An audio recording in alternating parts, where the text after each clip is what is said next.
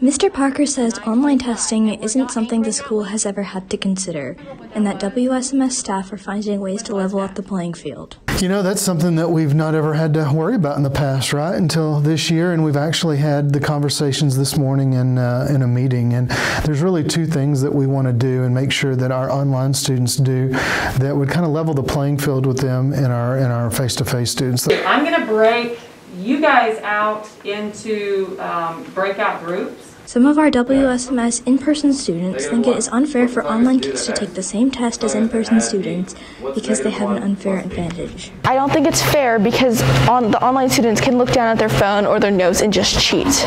We're going to keep it in groups of three or four. WSMS staff are putting tools in place that limit some of the advantages for online students and are adding some privileges to the in person students. They have to have their cameras on and they have to be at a distance so where I kind of have a wide view of what what is what their surroundings are, and so uh, that would give the teachers an opportunity to see um, just again uh, a wide angle of what is what is around the kids. And the next one is is they need to be logged into their Google uh, browser so we can use our new software called Aristotle.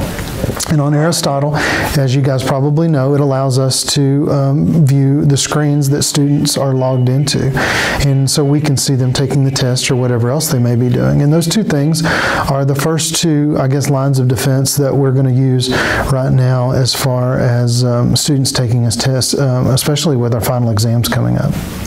Mr. Parker says that having open note tests may make things a little more fair, but teachers are starting to make open note tests have questions that are typically harder.